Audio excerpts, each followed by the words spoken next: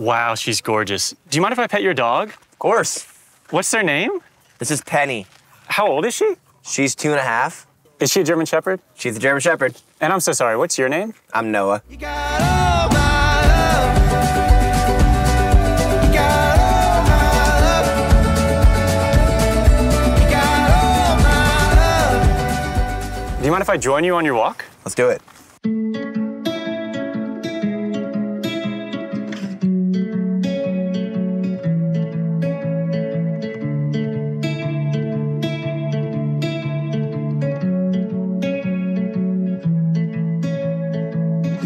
So tell me the story of how you first met Penny. We had a neighbor move into our neighborhood in Stratford, Vermont. Uh, my mom got a German Shepherd puppy from them. It's the middle of COVID, and like we thought the world was just never gonna go back to normal. And Yeah. my parents lived on 135 acres of land, and Oh, so really? the perfect place for a dog, especially a dog like a German Shepherd, who, as you can see, needs a lot of space to run around. um, and I went to the house to go pick up the dog, and there was one dog left that no one wanted. I literally impulsively just picked her up and, and, and bought her and walked out of the house with the dog.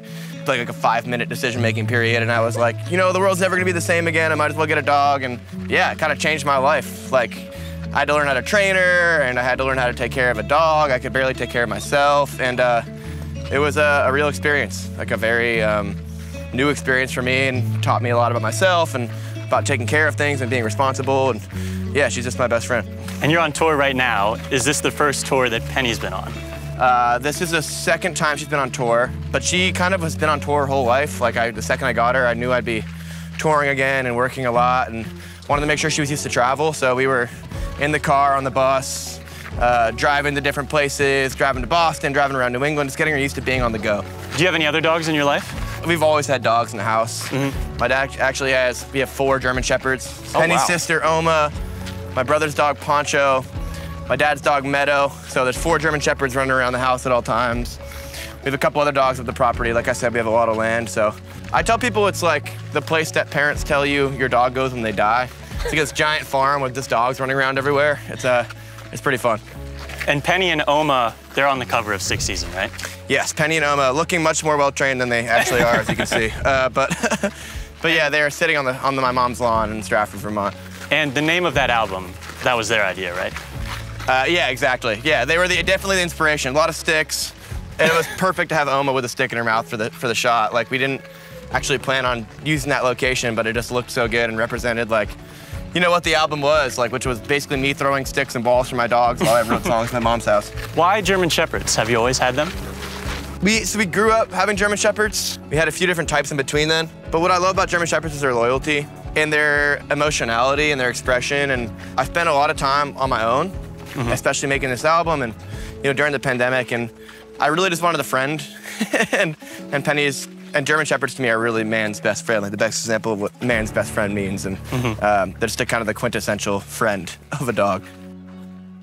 This episode of We Walk Dogs is brought to you by Brooks Running. They have shoe options to fit your life on and off of a run, and they're the only shoe you should ever walk your dog in. I checked, I can say that now. Today I'm wearing the Glycerin Stealth Fit, which is designed for total comfort regardless of my pace. Huge thanks to Brooks Running for sponsoring this episode. We're so glad your team loves dogs just as much as we do. And now you have a lot of songs that mention dogs. Yep. Almost, yeah, I feel like almost every single one has, a- has a dog reference. Well, we're gonna put you to the test. There's six of them. okay. Can you name them all? Should be able to. Let's see. Okay. Mess. I All my love. with the pills and the dogs. Howling. Love comes and goes, but a big black dog, he trails along. Yep. Three more. Your needs, my needs. Howling like dogs in the light of the moon. Um, oh God. Oh, they're the best ones, Noah. Me- Mess. Your needs. Howling. All my love. Pills in the dog. Um. Oh shit. How do I not know all this? So am I missing one more? Two more. One has an extended version. Oh. Oh, the day and the mad dog. Viewed in the villages. Death of a. Why do I write so much about dogs? Okay. um, what's the next one? I don't know. It's Paul Revere. Oh my God. Uh, yeah. okay. I don't know we were doing dead dogs and alive dogs. Oh. Okay, cool. Yeah. Paul Revere has dogs in it for sure. Patch of grass where we buried the dog. Damn, that's crazy. What a crutch lyrically for me. We actually found three more. We've got A Troubled Mind, My brain's a dog asleep that I cannot let lie. Please. And the dog stopped their house on the porch. And we got him on a technicality with Everywhere, Everything. He says dog eared. We think that counts. All of our books pages dog eared. Why do you think it's so easy to incorporate dogs in your art?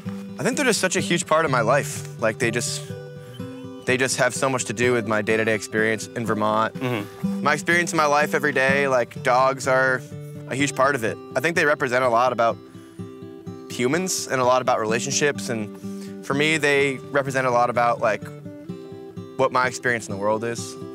Like for example, like when I was really going through it writing a song like Howling, like literally the soundtrack to like what I thought was like me losing my mind was like the dogs barking in the wind and like it feels like they kind of soundtrack my life in a lot of ways. Um, and also like everything I do, I do with my dog. Um, and so they've, they've just played a huge role in my career so far. Safe to say, there's more songs about dogs coming. Absolutely, absolutely. There's there's a lot more. I feel like if, we, if there's six, I've only released so many songs. Like six songs with dogs is like a pretty big major like fraction. So I'm gonna rely on that for the rest of my career. I think. For Mess, you had a bunch of professionally trained dogs for the music video. What Yep. was that experience like? It was really cool, like working dogs. Like they Uh-huh. have like a union and stuff. It's pretty crazy. They were all really sweet, and it was cool to hear like the other things that they've been in.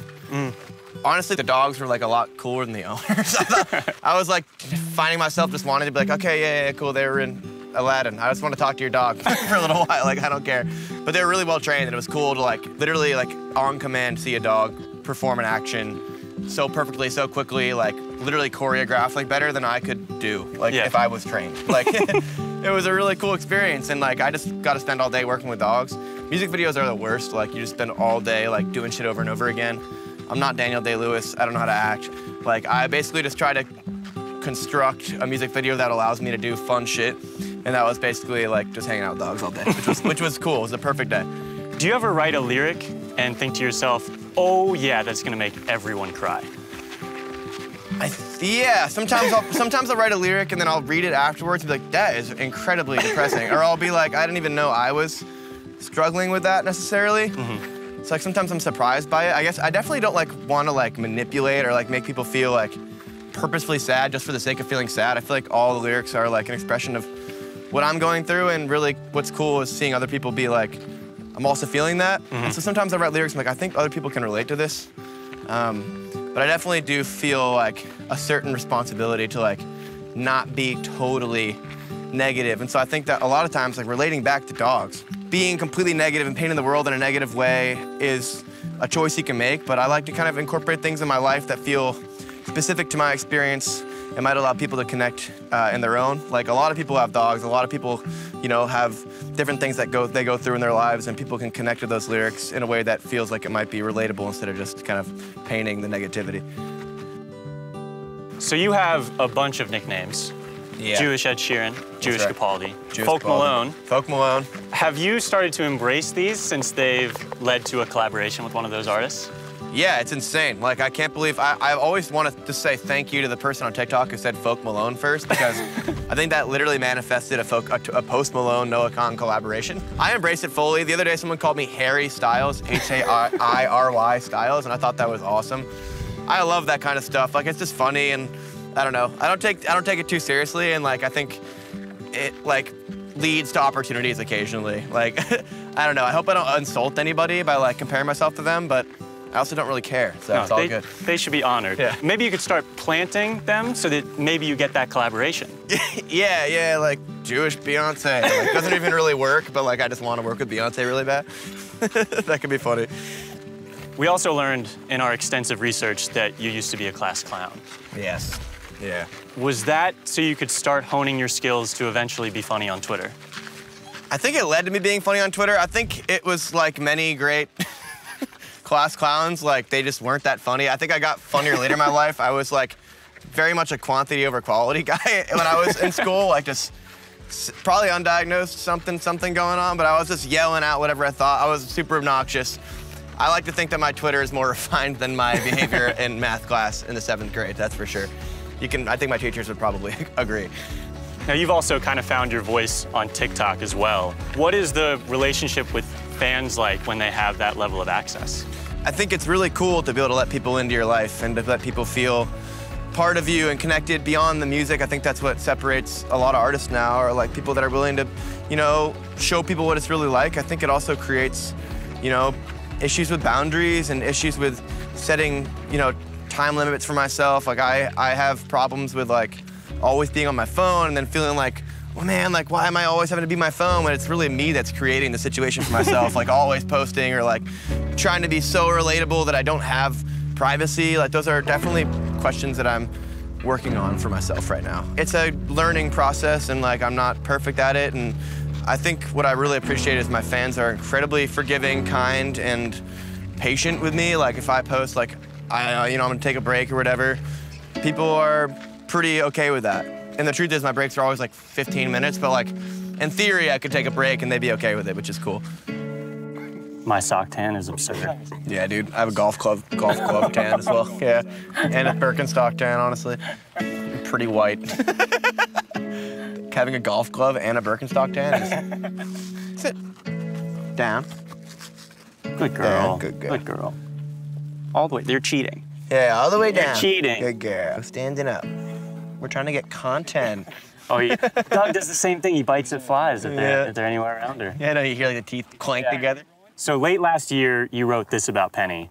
Two years ago, I brought you home and was never alone again. Thanks for changing my life. How has Penny changed your life? Penny has taught me a lot of patience and a lot of forgiveness too within myself. Like sometimes I'll be like, why did you have to do that? Like she'll like bark at a dog and like freak somebody out or like shit in the floor. And I have to I tell myself the truth, which is she's learning, she's a dog. She's figuring it out. You down? You go down. Then to sit up, sit up. All the way down. She's learning, she's figuring things out, as you can see. And I try to apply that same thing to myself whenever I can. Come here, Penny. Come here. Come here, Penny.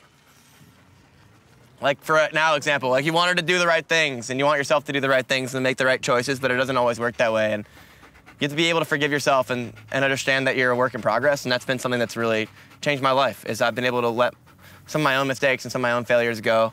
Uh, and the understanding that there's a lot of work to be done still and that it's, you know, normal to fail and to have to try again. Why do we love dogs? I think we love dogs because they represent innocence in a place in a world that feels increasingly cynical and lonely and devoid of true, unadulterated kindness without ulterior motive. I think dogs have no ulterior motive. They all they want is to love you and to be near you and I think it's so easy to distrust people now and to distrust yourself. And dogs make you trust and they make you believe in something. Um, I have a really hard time believing in anything a lot of the times. And I know it's like, that's a very cynical way to look at the world, but it's just how I feel. And dogs are something that I've always believed in. I believe in the, their love for, for us and for themselves and for other dogs. And it's just fun to see something true and something that you can't argue against or debate or divide. Everybody loves dogs, you know, like even if like doesn't matter what side of the political spectrum you're on or you know, you could be a crazy psycho like liar or like the nicest person in the world, but you'll still pet a dog in the head when it walks by. And and I think that's something really special. And I think that uh, it gets increasingly rare to have that. And dogs are kind of that forever reminder that we are able to love something. Thank you so much for doing this. Thanks Thank for going you. on the walk with us. Of course. Uh, really, really gracious of you to, to spend your time with us. Penny, I know your schedule is very busy, He's like, I gotta get out of here. so thank you for joining us. Thank you That's so wrap. much, man. Of course.